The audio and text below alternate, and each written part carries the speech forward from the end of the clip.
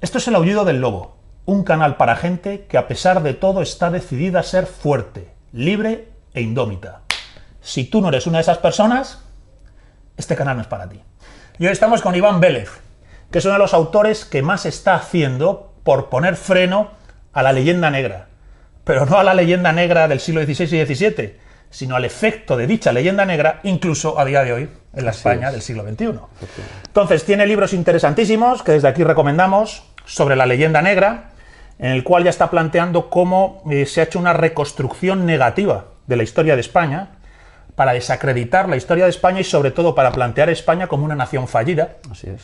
Luego tiene El mito de Cortés y la conquista de México, dos libros que apuntan también en la misma dirección, en este caso eh, haciendo referencia a, a, Hernán Cortés. El problema que hemos tenido con la conquista de América, la idea de la conquista de América como el genocidio, la aniquilación de los pueblos, Bartolomé de las Casas y demás. Y recientemente este libro, muy facilito, muy accesible, yo lo recomiendo, Nuevas Mentirosas, Cortés, El Nuevo Mundo y otros episodios de nuestra historia. Como eh, determinados episodios de la historia de España siguen siendo a día de hoy palancas desde las cuales hacer leyenda negra y desde esa leyenda negra desacreditar no ya el pasado, sino incluso el presente de nuestro país. Entonces, sin más dilación, vamos a conversar con él sobre la leyenda negra. Cómo conocer qué es, cómo conocer cómo funciona y cómo desactivar el poder de la leyenda negra sobre los españoles de nuestro tiempo. Entonces, la leyenda negra española. Estábamos hablando antes de empezar a grabar eh, que Quevedo, ya en el siglo XVII, escribe un libro que se llama España defendida. Está ya luchando contra la leyenda negra. Entonces, ¿qué es la leyenda negra? ¿Cuál es su intención? ¿A qué hace referencia?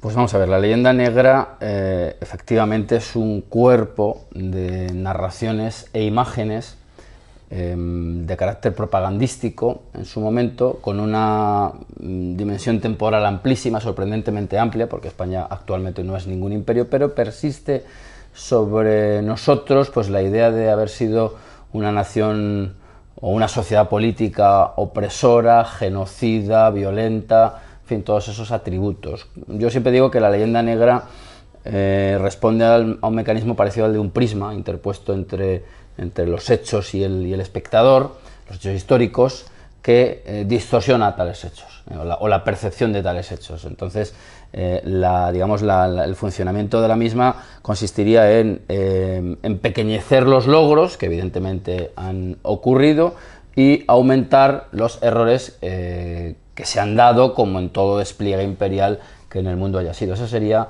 en principio. Pero entonces el acento de la leyenda negra se pone en el imperio español. Claro, la leyenda negra va unida a la idea de imperio, sin lugar a dudas. Entonces, eh, ¿es el imperio español el origen, la semilla de la nación fallida? Bueno, de la, de la supuesta nación fallida. Supuesta nación fallida. Yo no, no sé por qué eh, se dice de España que es una nación fallida. España es una potencia mundial. Eh, eh, no es la máxima, evidentemente, tampoco hay ninguna sociedad, yo digo sociedad política para, para digamos, darle un carácter más neutro, em, no hay ninguna que domine constantemente, digamos, el escenario eh, eh, del poder y, de, político durante muchísimo tiempo. Cada, cada nación o cada, o cada mm, proyecto tiene su radio histórico. España tuvo un, o el imperio español, si se quiere, pues una extensión enorme, pero luego dio pie a un, o dio lugar a un montón de sociedades eh, completamente homologables, de naciones políticas, para decirlo con más precisión, entre ellas España. España es un producto del imperio, del mismo modo que lo puede ser México o Bolivia. Pero aquí lo que nos encontramos entonces es, hasta donde veo que voy siguiendo tu argumentación, es que el imperio español se convierte efectivamente en un poder político mundial claro. Y se genera una propaganda contra ese imperio que trata de mm, laminar, dinamitar cualquier logro vinculado a este imperio, pero también entiendo que se prolonga su sombra hasta el día de hoy, claro. hasta el punto de que España, cuando decimos que es nación fallida, es porque parece que recibe el eco oscuro de ese tiempo del imperio. Me viene aquí a la cabeza, siempre lo menciono, Joan Tardá, ¿eh? que en el Congreso de los Diputados dijo, España es una nación fallida, debe refundarse en la República Confederal de los Pueblos de Iberia. Bueno, claro, claro, claro, Entonces dices, maldita sea. Pero es que en la misma línea tenemos a Pérez Reverte, fíjate, lo distanciado que está ya Pérez Reverte de Joan Tardá, que le entrevistan en La Sexta y dice que España se equivocó en el concilio de Trento y nos equivocamos de Dios. ¿Eh? Refiriéndose a que no nos hicimos luteranos, por decirlo de algún modo, sí, sí, sí. y que desde entonces España no levanta cabeza.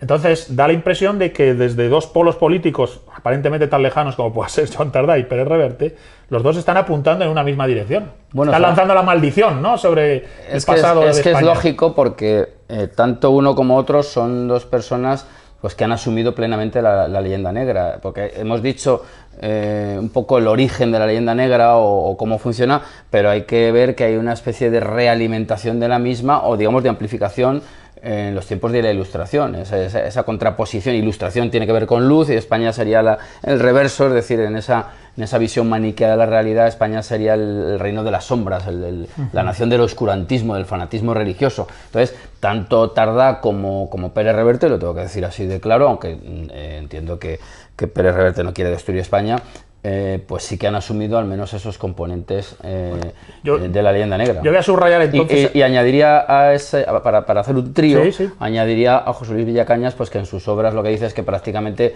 eh, toda la solución nuestra pasaría, por supuesto, por el federalismo, sin entrar en detalles, sin entrar en detalles, porque este federalismo siempre es sin decir qué naciones. Bueno, ahora, ahora ha dicho eh, IZ que hay ocho o nueve, ¿eh? ya Las por lo está menos va- vamos afinando, las, está- las ha contado con, un- con una precisión, ¿verdad? Gramatical, ca- casi. Em, ahora ya serían nueve, vamos, vamos, pero fíjate, en esas nueve no aparece Castilla, por ejemplo, ni aparece Granada, es decir, que, que como se hacen con criterios entre históricos y entre sentimentales, pues cada uno eh, la reparte como quiere. Entonces, eh, añadiría, eh, bueno, que decir que esa, esa sería un- una terna de negrolegendarios, porque creen que, que la reforma luterana y el federalismo son la solución. Yo creo que en absoluto lo son. Es que en absoluto lo son. Claro, yo aquí, entonces, antes de continuar, subrayaría para quien esté viendo el vídeo, fíjate que tú has dicho, está en primer lugar el imperio español y la propaganda antiespañola. Y luego has dicho, ojo, esto se retroalimenta durante la ilustración. Sí, sí. O sea, es importante subrayar que se amplifica eh, el discurso negro legendario contra España cuando ya el imperio español no tiene la hegemonía ni la preeminencia que ha tenido antes, pero la ilustración hace un discurso anti-español. Es de la ilustración deriva ya la visión oscurantista de la nación fallida. Es decir, esta nación es que no encajó, no se subió al No se- tren. no se subió al tren, no se claro. subió al tren, y entonces es una nación fallida. Y efectivamente, eh, Pérez Reverte o Tardá o tantos otros asumen eh, Claro. ese discurso de la ilustración. Es que, y de hecho en este libro, me sí, lo incluí. Em, vamos a ver, a mí me pidieron un artículo sobre alguien de la sobre, sobre algo relacionado con la ilustración. La, la fundación, eh, no recuerdo ahora mismo, Vi- Villa Cisneros, no era la Fundación Jovellanos o algo así, no, no me acuerdo bien. Em, no, Florida Blanca, perdón, que no me, no me salía el nombre. Y yo dije, ah, pues perfecto, se puede hacer sobre un ilustrado español. Un nombre, un español con faldas. El padre Feijó. El padre Feijó estaba eh, a la última, desde Oviedo. Es decir, era, era más ilustrado que los propios ilustrados, era menos supersticioso que los que muchos de los que se entiende que son las luminarias de, ese siglo.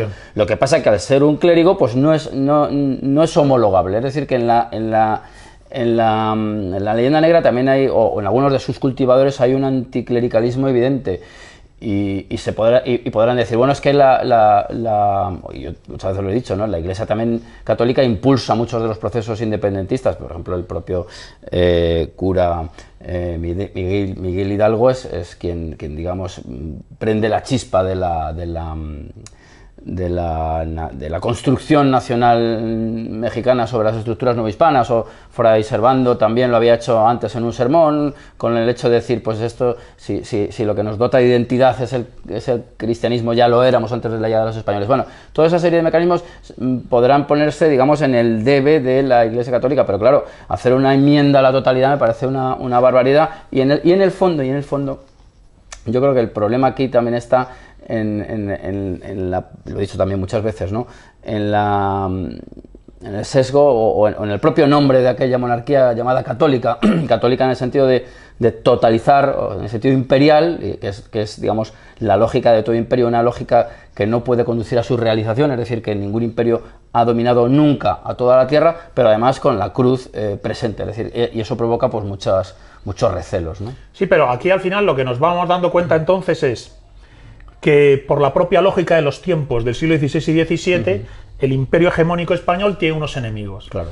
estos enemigos no solo pretenden eh, socavar el imperio desde el punto de vista político, sino desde el punto de vista del imaginario que acompaña a ese imperio.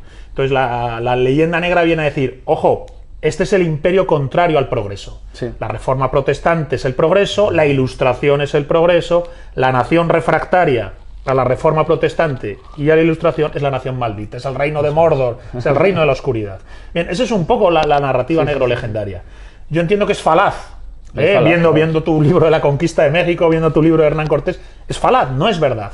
Sin embargo, no solo es asumida por nuestros enemigos, ingleses y holandeses, sino que a día de hoy creo que es el, discurso que está como de fondo, mm. sosteniendo las afirmaciones respecto de la España plurinacional, de la izquierda morada, respecto de España como cárcel de pueblos, que esto es una idea que maneja Pablo Iglesias y manejan los separatistas que esto también tiene su gracia, ¿no?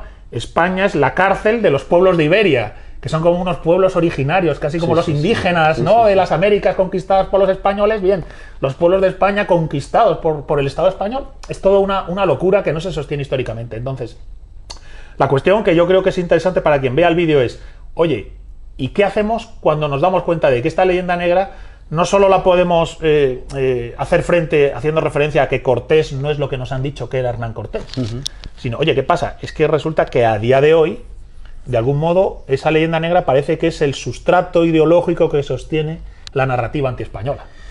Pues es un poco lo que tú has dicho, es decir, la, idea de que España es una especie de superestructura, em, digamos, eh, paralizante del desarrollo hacia el éxito total, claro, porque todos esos son pueblos eh, dotados de un talento indiscutible y, el límite, el freno sería una España que además, insisto, yo ya no sé muy bien dónde está, no sé si está en el kilómetro cero de la Puerta del Sol de Madrid, porque claro, si empezamos a, reconocer que no es España...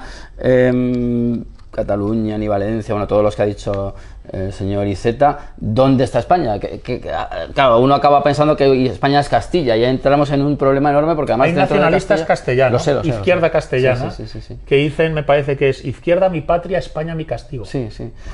y, en, León ya hace España directamente, entonces, como dice el Tardá, ¿no? que sea la República Confederal de los pueblos de Iberia, ni siquiera España. Bueno, el iberismo claro, el liberismo es una especie de pretexto para la secesión de algunos territorios de la actual nación española. O sea, el liberismo, eh, seguramente si, se le diera cancha, dirían, sí, Portugal es una de las partes de la Confederación, pero la otra no sería España, la otra sería el conjunto de pueblos que España, yo no sé dónde está esa España, pues ha sojuzgado durante siglos. Claro, eso, es una cuestión, eh, bueno, es un truco muy burdo, pero que suena muy bien en algunos oídos, porque también en España hay una, una exaltación del aldeanismo verdaderamente sorprendente. Es decir, que, yo estoy convencido de que adulando a un conjunto mm, o un colectivo mm, territorial de esas nueve naciones que, ha distinguido IZ, te brotarían nuevos, nuevos, nuevas nacioncillas y iríamos al cantonalismo casi o a un aldeanismo vergonzoso. Digo porque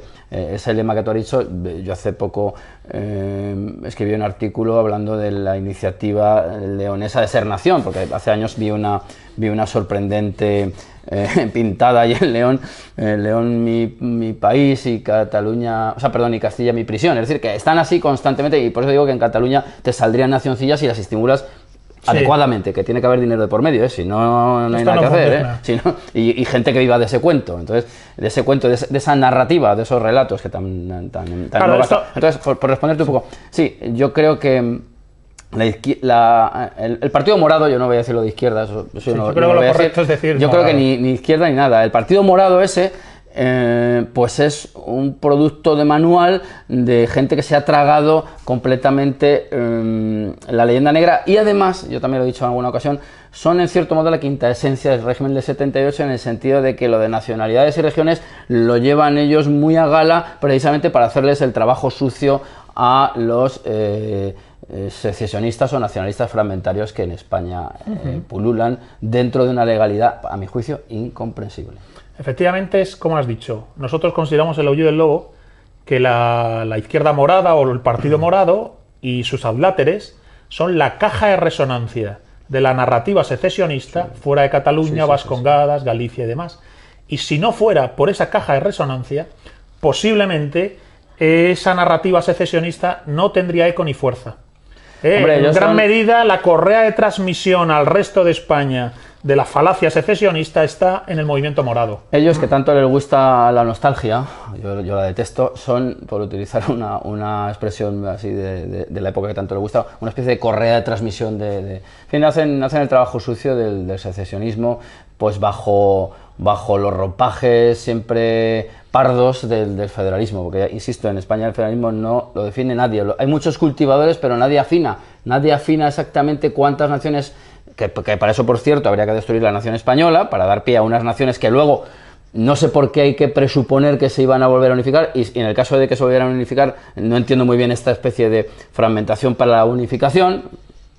Sí. No, no lo entiendo de forma retórica, se entiende perfectamente. Ahí- Es la búsqueda del privilegio y de, y de- y de la perpetuación. Ahí del está, por ejemplo, Errejón, que Claro. sí que dice, dice, no, hacemos el derecho de autodeterminación, pero con la intención de reencontrarnos después. Entonces dices, vaya.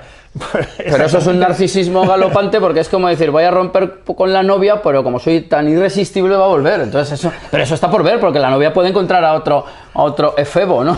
No, la, la verdad es que el, el panorama resulta delirante. Sí, sí, sí. Visto un poco desde fuera resulta delirante. Sobre todo resulta delirante por lo siguiente. Tú aquí has notado, y lo estábamos hablando antes, que es muy importante en una sociedad la narrativa que se hace sobre sí misma. Sí. ¿eh? Aquello que te cuentas sobre ti mismo. Entonces, por desgracia en España hay una narrativa hegemónica, según la cual efectivamente España falló, no fue suficientemente moderna, no fue suficientemente ilustrada, no fue suficientemente protestante, su catolicismo fue una losa, etc. Esa narrativa es la que está hegemónica, yo creo, casi en, en la cultura general que nos rodea. Y de un tiempo a esta parte, tus obras, el famoso libro Imperiofobia de Elvira Rocabarea, etc., están haciendo la contestación. Y fíjate si es llamativo, lo tengo aquí anotado, cómo eh, desde el otro lado se han dado cuenta Sí. empiezan a darse cuenta de que hay españoles que no están dispuestos a tragar ni con la plurinacionalidad ni con la narrativa negro-legendaria. Y entonces sale Villacañas y contra Elvira Rocabarea escribe Imperiofilia. Sí. Y el país, el otro día, sacó un artículo tratando de atacar el libro Imperiofobia Sí. de Elvira Rocabarea. E incluso Pérez Reverte saca Imperiolatría, ¿no? O algo así, algo un así. artículo que ha sacado en, el, en el semanal en la misma dirección. Entonces, yo tengo aquí anotado que da la impresión de que la única narrativa que se puede establecer sobre España y que no es susceptible de ser acusada de facha, facciosa, rancia, cuñada, es la siguiente. España, nación fracasada que debe ser dejada atrás y reformulada en República Confederal de Pueblos de Iberia, eso se acepta, no está mal, por disparate que sea, eso es progre. Sí. Y luego la otra narrativa es España, nación fracasada, pero se puede mejorar si de verdad nos europizamos del todo. Es decir, si nos hacemos completamente afrancesados, completamente ilustrados, cuanto más vaciemos de esencias o, o- o identidad española, mejor nos irá. Que es donde, por ejemplo, parecería que estaría reverte, ¿no? Eso es. Entonces, mm, da la impresión de que no tenemos alternativa propiamente española y si la ofreces y la planteas, como hace Elvira Rocabarea, eres susceptible de ser una especie de manifestación tenebrosa del nacionalcatolicismo franquista. Porque Villacañas va en esa dirección. Sí, sí, sí. Entonces, bueno, ¿cómo, ¿cómo ves tú esta lucha de narrativas? Porque tú estás en esa lucha. Tus libros, deliberadamente no, no sé si lo has hecho conscientemente o no, estás metido en esa guerra. Bueno, me han metido, yo quiero decir, mis libros, yo el libro de la leyenda negra lo saqué en el año 14, me parece, y, claro, y lo escribí antes del 14, evidentemente yo no, no podía mm, eh, prever estas, estos efectos y en cierto modo estoy concernido dentro de ese grupo de gente pues mm, incómoda, vamos a decirlo, pero claro, yo no puedo prever eh, ni, ni escribo buscando efectos de ningún tipo, eh, escribo... eh, lo que creo que es lo correcto, lo que creo que se puede sostener con el mayor rigor del que soy capaz y nada más. Pero bueno, sí, efectivamente, en España solo hay dos vías, ninguna de ellas contempla la existencia o la permanencia de la nación española, sino que iríamos a la federación, atomización, confederación, todo ese batiburrillo de palabras que lo que quieren es negar España, claramente. Ese, digamos, sería una postura eh, atomizadora. Y la otra es una postura disolvente en Europa, que la cultiva mucha parte de la izquierda y mucha parte de la derecha. Y, y- y ya adelanto que no me gusta ni la palabra derecha ni de izquierda porque son completamente imprecisas a estas alturas de. Sí. Pero digo, para hablar un poco mm, con un prisma casi sociológico, pues no olvidemos que Margallo, eh, uno de los prebostes del, del Partido Popular de Rajoy, quería que España cediera toneladas de soberanía a Europa. Yo me pongo a las dos cosas por supuestísimo. Aparte que en, la cuestión, le voy a adelantar una cosa, ¿no? Yo el 1 de abril o el 2 o el día que sea, a principios de abril, publicaré un libro donde analizo, analizo y, aporto pruebas documentales y de archivo de cómo se, ha cultiva, se han cultivado ambas, ambas eh, vías, la federal y la, y la europeísta, desde eh, pues, terminales norteamericanas que durante la Guerra Fría querían tener una vía paralela o alternativa, perdón, al franquismo este eh, que, que, siempre se asocia con el nacionalcatolicismo y, eh, y, sobre todo una vía opuesta, pero que fuera además opuesta al comunismo todavía existente. Hoy no, hoy no existe la Unión Soviética, pero entonces sí. Entonces esa vía era federalista y europeísta y, ahí, y vinieron muchos dólares a España pues para ir fraguando esa ideología. Las ideologías requieren también de financiación, como es lógico, y, en cierto modo parte de sus desarrollos están ya presentes en la Constitución del 78, que debe ser, eh, yo, yo, creo que, que, de una manera necesaria y muy fría y muy, muy calculada, debe ser analizada y transformada, porque desde luego ahí hay grandes Ahí hay un semillero eh, distáxico, un semillero de disolución nacional evidentísimo, con esa distinción, insisto, entre nacionales y regiones. Entonces, ya digo, tanto eh, el federalismo como el europeísmo mm, son eh, vías que se han estimulado durante décadas en España en, élites muy concretas, muy concretas. Oye, muy, interesante esto que has dicho, porque entonces, para quien nos vea, dices, oye, es que España está entre Escila y Caribidis, entre mm. la espada y la pared. Mm. O la vía de la fragmentación, atomización, o la vía de la disolución de España en el magma de lo europeo, eh, perdiendo cualquier arraigo verdaderamente la, España, la Europa de las regiones, vamos, sí, sí. Entonces España desaparece en mm, Europa, por decirlo así. Sí, sí, y se puede decir que los partidos eh, más, entre comillas, del sistema del 78 están más en la disolución de España en Europa y los partidos que llaman antisistemas, que en realidad no lo son tanto, están por la fragmentación y la ruptura de España en la atomización que tú has señalado. Sin haber una vía que esté realmente aparte de eso y apueste por España. que haga patriotismo español, verdadero. Creo que, la vía existe, lo que hay que hacer es eh, ampliarla, ¿no? ampliarla de algún modo. Y, por ejemplo, en nuestro pasado, insisto, yo no pretendo restauraciones de ningún tipo ni, nostalgia, ni cultivar ninguna nostalgia, creo que perteneces, pertenecemos perdón, a, un, a una parte formal del mundo llamada hispanidad y que ahí, como mínimo, tendríamos que tener los ojos puestos pues, para ver qué tipo de alianzas con, naciones hermanas podemos establecer. Estoy hablando de la vía hispanoamericana, que desde luego em, pienso que, puede tener desarrollo. Eh, yo lo siento, pero bueno, no lo siento, es una forma de hablar. Yo tengo mucho más en común si me siento a cenar en una mesa con un mexicano que con un danés, por mucha Europa que me quieran vender. O sea, tu, tu apuesta en gran medida es por eh, reconectar o volver a poner en valor la hispanidad. Yo creo que sí, yo creo, yo creo que como mínimo eh, debemos, eh, somos europeos por cuestiones históricas y geográficas. Es que aquí a mí lo que me sorprende es que esta gente que solo, para la cual España solamente ha sido el periodo franquista y como en, como en aquel periodo había pues unas fricciones por motivos políticos, unas fricciones que no lo eran tanto en el fondo. Si uno se da cuenta, uno sí se da cuenta de la cantidad de acuerdos que España iba firmando, desde luego no estaba aislada como, como nos la quieren hacer ver. Eh, bueno, mm, yo creo que ese es un tiempo muy concreto, pero que España tiene eh, pues un desarrollo histórico enorme y ya digo, los vínculos lingüísticos, culturales, y, de todo tipo con Hispanoamérica son tan evidentes que lo que no podemos hacer es, por esta especie de, eh, por citar a un amuno, papanatismo europeísta de querer ser modernos, pues darle la espalda a una realidad que ofrece, ya digo, mm, pues alternativas muy interesantes. Claro, entonces, si tú fíjate, dices, salir de este estilo y caribis, de esta situación de fragmentación o disolución, es en parte conectar con ese momento de la hispanidad, nos lleva al tema de la conversación, y es que la hispanidad está atacada, eh, lanceada por la leyenda negra. Bueno, es que efectivamente. El día 12 de octubre, nada que celebrar. Nada que celebrar. Vamos a ver, eh, eh, es que este es el problema, ¿no? La hispanidad, precisamente por sus componentes, por su desarrollo, pues está atacada dentro de España, asumida por, o sea, perdón, la, leyenda negra ataca a, muchos de los componentes propios de la hispanidad, lo han asumido muchos hispanos, aquí ya amplió el radio, es decir, negro legendarios los hay, en, Navarra, pero también los hay en Santa Cruz, Bolivia. Es decir, los hay en Santa Cruz, además, ¿eh? la palabra. Entonces, el problema, eh, digamos, está extendido a todo el orbe hispano, si se quiere. pero también eh, dentro del orbe hispano eh, somos muchos, el oído del lobo entre ellos, los que nos resistimos a tragarnos la papilla ideológica según la cual somos una, un error histórico completo. Desde, su nacimiento hasta, hasta, el final. sí, probablemente.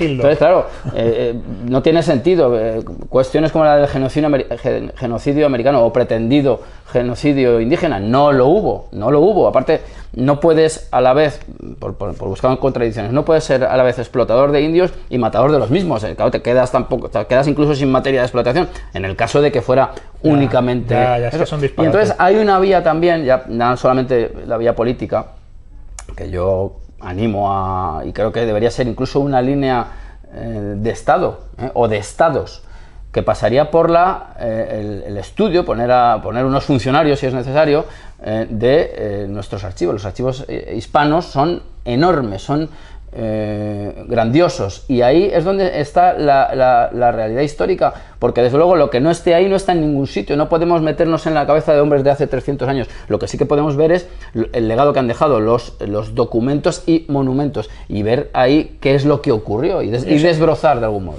Y qué interesante, porque acabas de dar, fíjate, yo tenía aquí anotado preguntarte, bueno, ¿qué se puede hacer? ¿no? ¿Cómo, ¿Cómo, ganar esta lucha? Tenemos una guerra contra la narrativa antiespañola. Narrativa antiespañola dura, que es la de la atomización, narrativa antiespañola blanda, la de la disolución. ¿eh? La, puedo decirlo así, la que hemos visto en Reverte, la que hemos visto en Villacañas, la dura y la blanda, pero son narrativas antiespañolas. Y fíjate que tú estás dando claves, estás diciendo, uno, volver a mirar a la hispanidad, dos, no tragar la papilla ideológica de la narrativa negrolegendaria y tres, eh, darnos anticuerpos frente a esa papilla con incluso una política de Estado. Los archivos que tenemos sobre las Américas. No, no, y, bueno, más ideas, ¿no? Eh, y luego, pues que, el, Estado también se ocupe de, eh, y esta es la tercera parte de este libro, de hacer eh, una serie de productos audiovisuales. Los críos no leen hoy tanto como antes, tampoco ha salido tanto antes, tampoco vamos a ponernos como lectores contra no lectores, pero la forma más inmediata de llegar a las grandes masas es a través de la imagen, que eso es fundamental. Y de hecho la leyenda negra trabajó con la imagen desde el principio los grabados de Teodoro de Brie con esos indios colgados como si fueran conejos para ser sacrificados o, después de haber sido sacrificados eh, ha tenido mucha operatividad entonces ¿qué se puede hacer también? pues que las propias naciones si no son suicidas pues y sin crear una leyenda rosa o, dorada pues traten de eh, evidenciar y hacer popular la realidad de lo ocurrido, así de sencillo, eh, ver que ver que quiénes eran los virreyes, de dónde procedían, cómo se movían las, eh, estoy hablando ya más de Hispanoamérica, cómo hay unas élites criollas y unas élites también mestizas que evidentemente eh, mm, tenían grandes áreas de poder, cómo, cómo esas ciudades son esplendorosas y eso, y eso, digamos, que neutraliza la idea de que solamente era una zona extractiva para la corona. Entonces, ese tipo de cosas yo creo que se pueden hacer. Eso, mira, me, lleva incluso hablándolo con amigos, que decíamos que ahora mismo la, mejor herramienta que se tiene para hacer frente a esta narrativa antiespañola sería una, buena producción audiovisual, de películas o documentales sobre el tema. Eh, fíjate, nosotros lo habíamos planteado así, lo señalas tú como la cuarta palanca, señalado tres, la cuarta, es decir, no solo que el Estado intervenga para trabajar los archivos, es decir, la verdad, sino que se hagan producciones audiovisuales que lleguen a los jóvenes para que los jóvenes no traguen con la endofobia, porque esto es una hispanofobia que la tienen los propios españoles. Sí, sí, sí, no, que ese es el problema de la leyenda negra. La leyenda negra no es que a, una nación la insulte su enemiga, eso es casi entra dentro de la lógica eh, del realismo político más crudo, sino el hecho de que los atacados se lo crean, y ese es el problema de la leyenda negra. ¿Cómo se combate eso? Pues evidentemente yo tengo estas ideas, habrá muchísimas más, pero creo que por esa vía. las cuatro que has dado aquí, que sepas que yo las subrayo. Me parece que no, no, pueden, no pueden pasar desapercibidas. Pero sí, un poco ya para ir cerrando, fíjate, mm, por si quieres decir alguna cosa más para terminar, pero yo quiero que, que lo, lo, escuchen o lo vean los seguidores de Lucido del Lobo. A mí me gusta que tú a Cortés le llamas el libertador. No soy el único, ¿eh? ¿Eh? Que yo Cortés el libertador, después de haber sido el malo, el genocida, dices, no, ojo, este señor es el libertador de los esclavos de los mexicas, de los pueblos oprimidos por los mexicas, ¿verdad? Bueno, yo no pretendo ser original, porque, y no soy el primero que lo ha llamado el libertador, eh, y no lo digo para cubrirme ante los ataques, los ataques están, son ya, están asumidos, ¿no? Pero en rigor lo fue. Es decir, él cuando llega a las, a las playas de aquella tierra desconocida, eh, como era un gran observador y, Cortés es un producto de la España de su tiempo, con una especie de carga histórica detrás de, mundo complejo, porque la España eh, Cortés eh, nace antes de la toma de Granada, es decir, está todavía dentro de, digamos, de los márgenes de la Reconquista, y, y, la Reconquista se hizo con la espada, pero también se hizo negociando y con alianzas, ¿no? Pues él ve que aquello, además lo dice explícitamente en sus cartas de relación, en sus cartas a Carlos I, diciendo el regocijo que él notó al darse cuenta de que aquello no era una estructura extraordinariamente sólida, sino que veía grietas y fisuras. Y él lo que hizo es eh, meter cuñas, digamos, con, eh, en esas fisuras para hacer saltar todo aquello eh, por la vía diplomática. Es decir, él se dio cuenta que el poder mexica tenía oprimidos o sujetos, si se quiere, a un montón de, naciones étnicas o de pueblos, y él lo que les ofreció es romper con eh, la hegemonía de Moctezuma, por supuesto, eh, para, para, vincularlos a otra hegemonía, pero esta es la realidad, señores, no, no vivimos en otro mundo. Pero habrá que decir que la hegemonía española no hacía sacrificios humanos, a eso me refiero. ¿eh? no les torturaba, no les arrancaba el corazón, ni era un sistema de esclavista, vamos, es. que... Tenía ese pequeño... Ah, una diferencia, vaya, te voy a libertar, vas a estar de súbdito del rey de España, pero maldita sea el rey de España. Un poder mucho más difuso. y no arranca corazones en lo alto de una pirámide. Claro, y eso, y eso a ellos les pareció eh, pues una, una alternativa razonable. ¿Quiere esto decir que les prometió un mundo arcádico y feliz? No, porque eso no se puede prometer, pero mm, desde luego eh, ese procedimiento dio sus frutos porque la conquista se produjo, aunque ahora hay unas, unas eh, interpretaciones delirantes según la cual, estoy hablando de, por ejemplo, de Restal y de otros, pues casi Cortés era un, hombre que pasaba por allí y que en la inercia de... Se llevó, el, reino. se llevó el reino. Bueno, eso no puede ser, ¿no? Evidentemente era un componente minoritario, pero eh, dominante. Entonces Cortés en rigor sí los libera, los libera del yugo mexica. Alguien dirá, sí, que los mete en otro yugo. Bueno, señores, estamos en el mundo, no estamos... Bueno, yo, yo diría, yo, bueno, yo sí los diría, no les meten otro yugo. Hmm. Eh, España está generando un derecho de gentes. ¿eh? No, digo, digo por... Está planteando unos derechos humanos, sí, sí, sí, eh, está planteando que el indio es capaz de razonar y como es capaz de razonar no se le puede tratar como esclavo, es decir, y de hecho, y de hecho no se puede comparar en ningún caso. No, no, no se puede comparar. Y de hecho, además, Cortés es muy querido por los pueblos indígenas. Es decir, cuando Cortés se va a la, expedición de las Ibueras y regresa, los, los, y se le da por muerto, además. Después de la conquista de México, de la Ciudad de México, eh, hay un Cortés posterior que es muy interesante. Yo animo a que se, a que se ahonde también esa... Claro, Cortés le queda muchos años de vida y no se quedó quieto, evidentemente. ¿no? Entonces, cuando él vuelve de esa expedición, los, los, los indígenas a los que había liberado, pues lo reciben muy bien. Eh, que, que, eso es una prueba de que, de que no lo vieron como otro opresor. Entonces, bueno, pues eh, sí, esa es una, una expresión que puede, que, que puede crear cierta extrañeza o rechazo en algunos, pero yo me animo a que, a que ahonden en, lo que se dice. Libertador. Bueno, pues para terminar, si quieres comentar alguna cosa más. Pues nada, yo simplemente agradeceros el interés en mi trabajo, animar a todo el mundo a que vea el vuestro, porque me parece que hacéis una labor muy interesante, con unos medios muy modestos, pero con unos resultados, pues a mí me parece que bastante exitosos. Entonces, nada, yo a vuestra disposición y, seguiremos dando guerra eh, toda la que podamos y nos dejen. Y yo animo a la gente a que no se eh, trague pues toda la propaganda, que, que vaya a los hechos, que vaya a las fuentes y, que disfrute de, ese, viaje porque es muy, muy bonito. Bueno, pues muchísimas gracias. Un placer. A vosotros.